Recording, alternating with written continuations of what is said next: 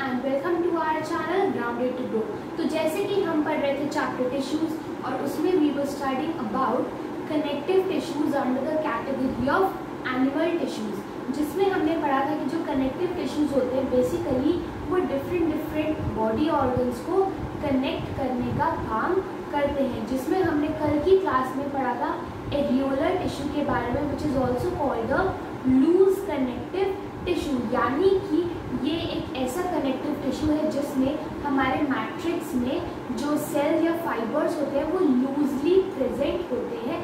That is there are very much amount of intracellular spaces between their cells now, we will study about the second kind of connective tissue that is present in the animals. That is the dense regular connective tissue. Basically जो dense regular connective tissue होता है that is the opposite of loose connective tissue यानी कि loose connective tissue में क्या था? हमारे जो कनेक्टिव टिश्यूज में सेल्स या फाइबर्स होते थे, उनके बीच काफ़ी सारा इंट्रासेल्युलर स्पेस होता था, जहाँ पे मैट्रिक्स प्रेजेंट होता था. लेकिन जो हमारे डेंस रेगुलर कनेक्टिव टिश्यू हैं, उनमें काफ़ी कम स्पेस प्रेजेंट होता है between the cells So, the dense regular connective tissues, they are ordered and densely packed fibers. Fibers यानी कि मैंने आपको बताया था fibers are also called the cells.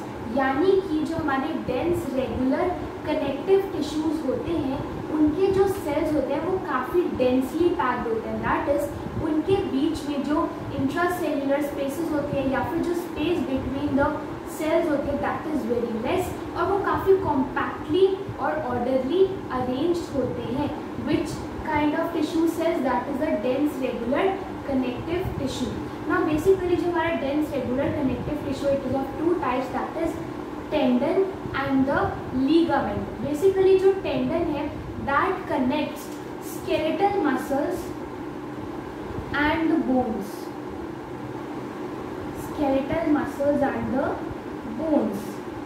While the ligament, it connects bones to bones. Right? तो हमारा जो dense regular connective tissue है, उसमें हमारे पास two kinds of dense regular connective tissue आते हैं. That is tendon and ligament tendon basically किन body organs को कनेक्ट करता है? The skeletal muscles to the bones and ligament connects bones to bones this is the most important difference between both of them कि जो tendon होते हैं, वो bones और जो हमारी स्केलेटल मसल्स होती हैं, उनको कनेक्ट करते हैं। तो वही जो लीगामेंट होते हैं they connect bones to bones now let us study both of them, that is tendon and ligament in detail. We'll start with tendon okay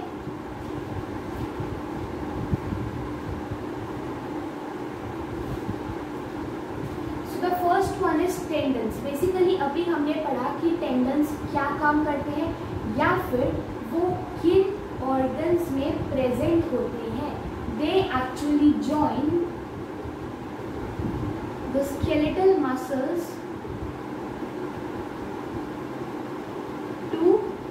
bones right तो जो टेंडन्स होते हैं, उनका काम क्या होता है? जो हमारी स्केलेटल मसल्स होती हैं, उनको और जो हमारी बोन्स हैं उन दोनों को ज्वाइन करने का, उन दोनों को कनेक्ट करने का काम कौन करते हैं?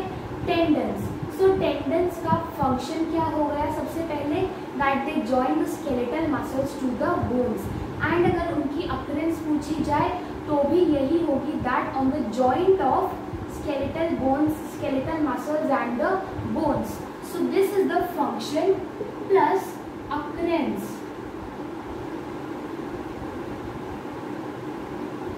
right? अगर आपसे कोई टेंडन्स का फ़ंक्शन पूछे so what's the function that they join the skeletal muscles to the bones और अगर कोई उनकी अक्रेंस पूछे तो आप क्या बोलोगे?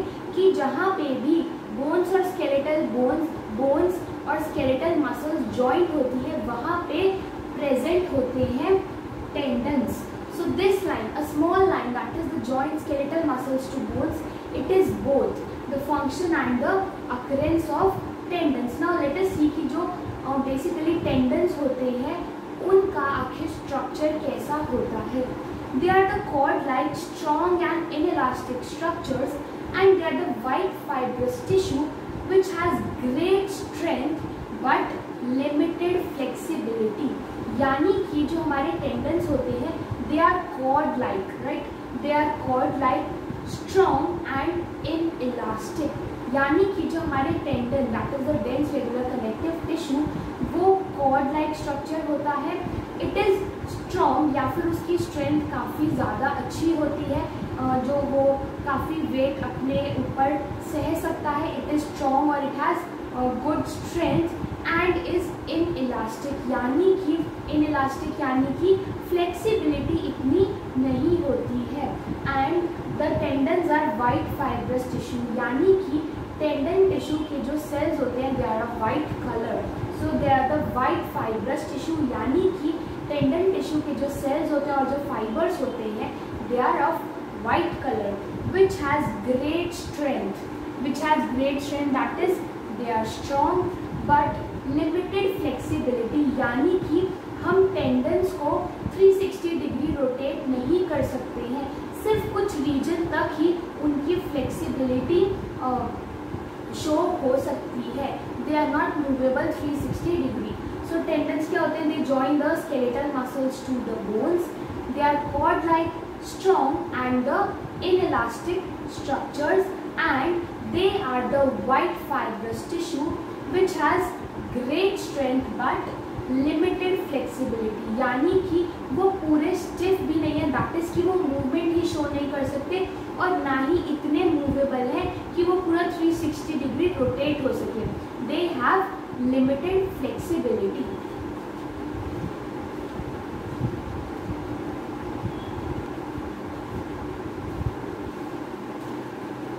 Now the next kind of dense regular connective tissue is the ligaments. Basically जो लीगामेंट्स होते हैं, उनका काम क्या होता है? To join bones to bones यानी कि जब हमारे पास दो या दो से ज़्यादा बोन्स होती है तो उन बोन्स को जॉइन करने का काम कौन करता है? लीगामेंट्स सो टेंडन्स का काम क्या होता है? स्केलेटल मसल्स को बोन से ज्वाइन करना. तो वहीं लिगामेंट्स का काम होता है बोन्स को बोन्स के साथ ज्वाइन करना. And this line that is the join bones to bones is again the function as well as the occurrence of the ligaments. Right? Now the next point, basically they are elastic structures. हमने tendons में पढ़ा था that they are in elastic structures लेकिन जो हमारे ligaments होते हैं they are elastic structures because they allow flexibility और they are flexible right Now the next point is they have great strength. They have great strength, right? यानी कि हमारे tendencies या फिर हमारे लीगामेंट्स दोनों के पास ही काफ़ी स्ट्रेंथ होती है और they both are strong right now the next point is they have little matrix obviously matrix कहाँ पे प्रेजेंट होता है? Between the intracellular spaces of the connective tissues और हम कौन से टॉपिक पढ़ रहे हैं? डेंस रेगुलर कनेक्टिव टिश्यू यानी कि ऐसे टिश्यूज ऐसे कनेक्टिव टिश्यूज जिनके सेल्स में काफ़ी कम इंट्रासेल्युलर स्पेस होता है। तो इंट्रासेल्युलर स्पेस कम तो यानी कि मैट्रिक्स भी कम। तो लिगामेंट्स में मैट्रिक्स काफ़ी स्मॉल क्वांटिटी में प्रेजेंट होता है। And they are white and yellow fibrous tissues they are the yellow and white fibrous tissues right so this is about the ligaments they are the elastic structures and they even have great strength they have little matrix because they are dense regular connective tissue which have less intracellular spaces and the fourth is they are white and yellow fibrous tissues तो अगर कोई आपसे पूछता है कि tendon और ligament में differentiate करो you have three points of difference first point tendons का काम क्या होता है? टेंडेंस एंड लीगामेंट्स टेंडन्स का काम क्या होता है? टू जॉइन मसल्स टू और स्केलेटल मसल्स टू बोन्स तो वही लीगामेंट्स का काम क्या होता है? Join bones to bones so this is the first point of difference second point of difference हमने टेंडेंस में पढ़ा था they are in elastic whereas our ligaments are elastic structures right and the third point of difference आपने tendons में पढ़ा था that they are the white fibrous tissues तो वही जो हमारे लिगामेंट्स है they are white and yellow fibrous tissues यानी कि tendons are white fibrous tissues while the ligaments are white and yellow fibrous tissues right so these are the three major points of difference जो हमने tendons और ligaments के बारे में पढ़ा, उसी से डिराइव कर लिए आपको डिफरेंट पॉइंट्स याद करने की ज़रूरत ही नहीं है टेंडन्स और लीगामेंट्स के डिफ्रेंसिएशन के लिए। आपने जो टेंडन्स और लीगामेंट्स के बारे में पढ़ा, उसी से पॉइंट्स को आप डिफ्रेंशिएट भी कर सकते हो। जैसे कि हमने पढ़ा टेंडन्स द जॉइंट मसल्स और स्केलेटल मसल्स टू बोन्स तो वही ligaments join bones to bones tendons they are in elastic structure that is जिनकी फ्लेक्सीबिलिटी काफ़ी कम होती है। तो वही ligaments are elastic structure and the third point is tendons are white fibrous tissues whereas the ligaments are the white and yellow fibrous tissues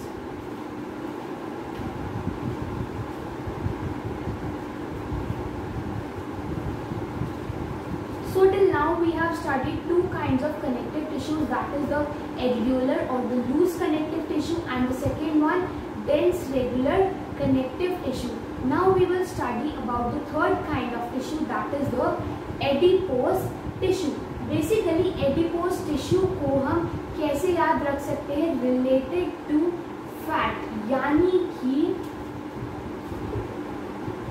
it is also called the fat tissue or the fatty tissue or the fat storage tissue यानी कि adipose tissue is only related to fat basically adipose tissue is the aggregation of fat cells यानी कि वो cells जहाँ पे हमारी body का fat store होता है उन सेल्स को हम क्या कहते हैं फैट फैट सेल्स और द फैटी सेल्स जिनकी एग्रीगेशन को जिनको अगर हम ग्रुप में मिला दें तो उन सेल्स को हम क्या कहते हैं?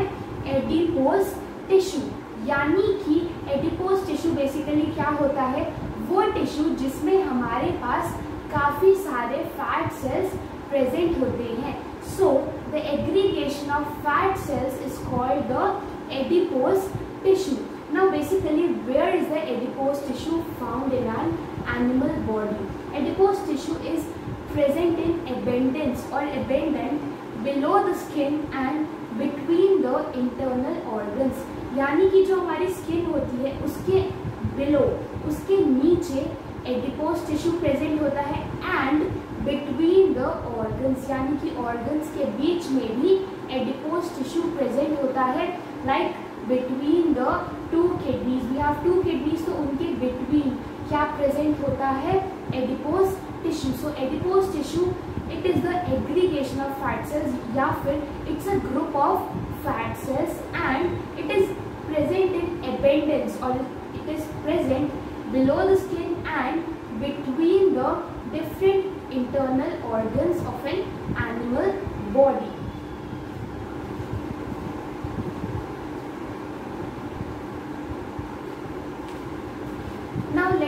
About the structure of the cells that are present in the adipose tissue. Basically, जो adipose tissue के cells होते हैं, they are round और oval in shape यानी कि वो एकदम राउंड शेप के भी हो सकते हैं या फिर ओवल शेप के भी हो सकते हैं so the adipose tissue cells और the adipose tissue fibers are round और oval in shape and they contain a large droplet of fat that almost fills it, which is called the fat globules. Basically जैसे कि हमने पढ़ा था कि जो हमारे प्लांट सेल्स होते हैं, उनमें क्या प्रेजेंट होता है? वैक्यूल्स तो वैसे ही जो हमारे एडिपोज टिश्यू के सेल्स होते हैं, उनमें भी एक काफ़ी एक ऐसा एक ऐसी चीज़ प्रेजेंट होती है जिसमें फैट स्टोर किया जाता है। मैंने आपको बताया था कि एडिपोज टिश्यू में फैट्स को स्टोर किया जाता है और that's why they are called the fat tissue अब बेसिकली जो एडिपोज टिश्यू है, वो फैट कहाँ पे स्टोर करेगा? ऑब्वियसली अपने सेल्स में ही स्टोर करेगा. तो जो हमारे एडिपोज टिश्यू के सेल्स होते हैं, उनके अंदर एक चीज़ होती है that is called the fat globules जिसमें हमारा फैट जो है वो स्टोर किया जाता है. And fat globules form the major part of the adipose tissue cells यानी कि अगर ये मेरा सेल है तो सपोजिंगली इतनी शेप का या फिर इतनी शेप का मेरा फैट ग्लोब्यूल होगा या फिर एक ऐसी ड्रॉपलेट ऑफ़ फैट जो मेरे टिश सेल में प्रेजेंट होगी। So adipose tissue basically adipose tissue के जो सेल्स होते हैं, वो राउंड या फिर ओवल शेप के होते हैं और उनके अंदर apart from the basic cell structure में जो पार्ट्स होते हैं that is cytoplasm cell membrane उनके अलावा एक मेजर एक मेजर एलिमेंट प्रेजेंट होता है in the adipose tissue cells that is the fat globule fat globule यानी कि एक ऐसी droplet a large droplet of fat which is present in the fat cells और in the adipose tissue cells और ये जो फैट ग्लोब्यूल होता है दैट इज़ द फैट और या फिर जो हमारा फैट स्टोर किया गया है, यानी कि जो हमारा फैट स्टोर किया जाता है एडिपोज टिश्यू के सेल्स में वो कहाँ पे होता है? In the fat globules so fat globules क्या होते हैं? A large droplet of fat that almost fills the adipose tissue fibers so this was about the structure of the adipose tissues now let us see the function of adipose tissue